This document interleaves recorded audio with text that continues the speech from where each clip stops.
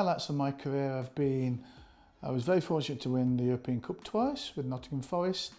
We won the league with Nottingham Forest. I've won the, uh, not the FA Cup, not too good in the FA Cup, but the Milk Cup, um, Super Cup. Uh, and winning the league is a big thing, I think. Nottingham Forest changed under Brian Clough uh, very, very quickly. Um, he was a, a, a big overriding influence on everybody who was there. Myself, John Robertson, Tony Woodcock, Martin O'Neill were all there when he arrived.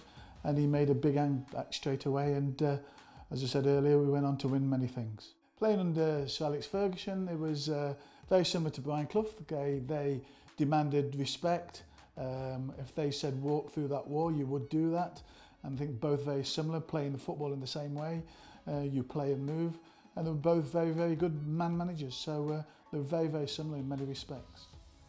Very honoured, first and foremost. Myself and Laurie Cunningham were vying for that position and luckily enough I ended up being the one that getting the, the call from uh, Ron Greenwood to say that I was going to be the first black player. Laurie was already the first black under 21 international but turned out that I was the first full international. So um, obviously we're proud and very honoured to play for your country is always a great thing. Oh, it's changed tremendous amount. There was only a couple of black well there was only one blackface on the television when I when I played was a lad called Clyde Best. Um, and then obviously I came along Cyril came along Laurie came along.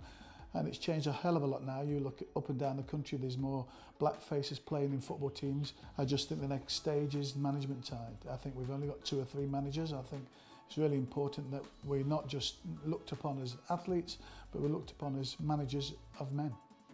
I think the fines from UEFA bordering on pathetic. I think uh, when you talk about £65,000 for the fine for what the incidents just recently in Bulgaria, I think it's absolutely pathetic. I think it's got to be, you know, millions of pounds. So the, the associations or whatever country it is takes up and takes notice that it's, it's not accepted in 2019 going on to 2020. So I think the fines have got to be more stringent and I think if needs be, uh, kick them out of the competition, whichever they're playing in.